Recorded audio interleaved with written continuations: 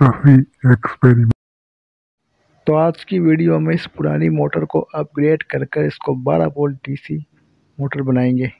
तो मैं बारी बारी से इसके सभी पार्ट को खोल कर अलग कर लेता हूँ।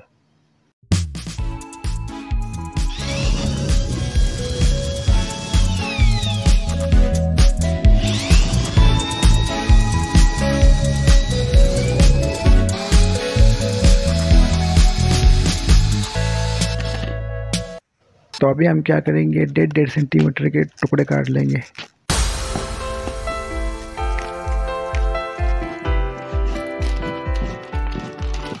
तो बारी बारी से इन सभी टुकड़ों को चिपका लेंगे और ये कहाँ काम आने वाले हैं तो आप वीडियो में बने रहिए।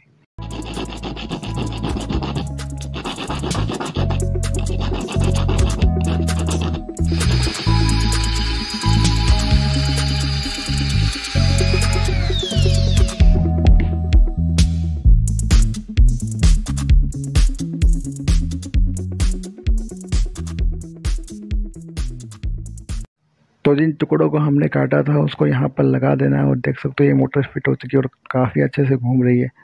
तो इस तरीके से आपको फिट कर लेना है।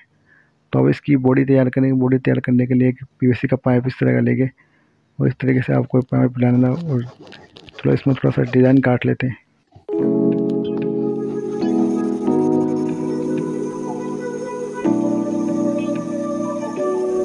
तो अभी मैं पीवीसी पाइप को गर्म करके इसकी सीट बना रहा हूँ। इसकी सीट बनाने के लिए मैं सीट गन का यूज़ कर रहा हूँ, जिसे मैंने खुद ही बना के तैयार किया था। तो अगर आप इसका मेकिंग वीडियो देखना चाहते हैं तो डिस्क्रिप्शन में आपको लिंक मिल जाएगा, वहाँ से देख लेना।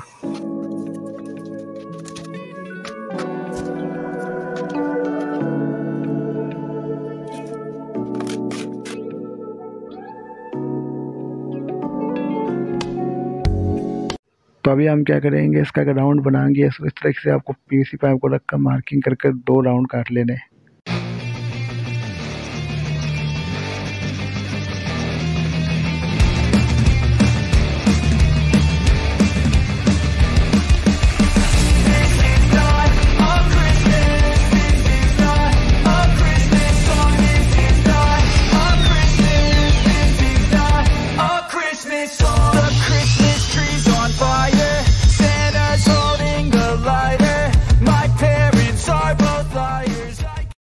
इन होल के अंदर आपको स्क्रू लगाकर मोटर को एकदम टाइट कर देना है।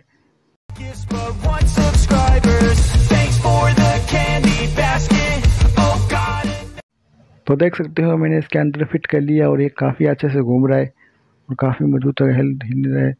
तो इस ये हिस्सा तो इसके अंदर इस तरीके से चला जाएगा और आपको इसको चिपकाना नहीं है। आप दो दो बूंद फेंकी की डाले ज़्यादा नहीं डाले। और देख ढक्कन को मैंने पीछे की तरफ़ लगा लिया, उसमें दो होल कर दिए और ये साइज़ इसके अंदर इस तरीके से चला जाएगा और इसकी दोनों तरफ़ मैग्नेट लगा दिए। तो इस हिस्से को आपको ज़्यादा मजबूती से नहीं चिपकाना है ताकि कभी खोलना पड़ जाए तो आप आसानी से खोल सके। तो आप एक एक बूंद ही फेंकी की डाले, ज़्यादा नहीं डालें। ये जो हिस्सा है, इसके अंदर इस तरीके से चला जाएगा। तो फ्रेंड, आपने यूट्यूब पर बहुत सारे वीडियो देखे होंगे जिनमें नेट बॉल का इस्तेमाल करके आर्मेचर बनाया जाता है। तो वो आर्मेचर इतने अच्छे से काम नहीं करता क्योंकि आर्मेचर पत्तियों से मिलकर बना होता है।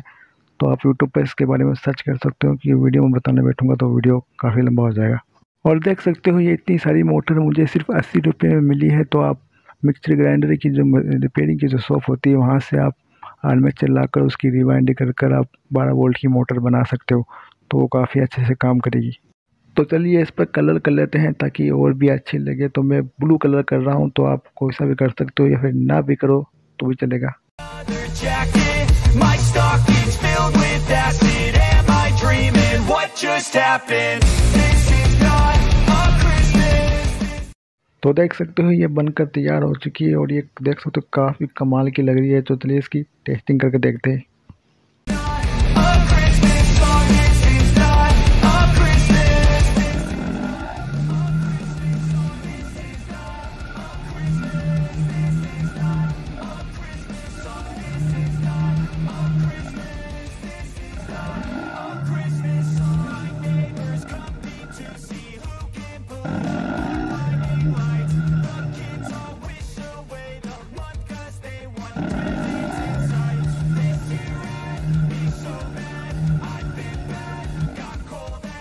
तो देख सकते हो फ्रेंड, इसकी ये साफ्ट काफ़ी छोटी है तो मुझे कोई जुगाड़ लगाकर इसको लंबा करना पड़ेगा।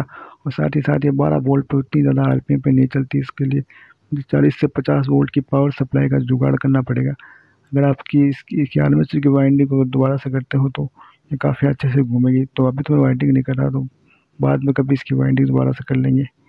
और फ्रेंड, मैं आपको बता दूँ, ये अठारह हज़ार आर की मोटर है तो आप इसे चालीस से पचास वोल्ट दोगे तो ये काफ़ी ज़्यादा आर से घूमेगी।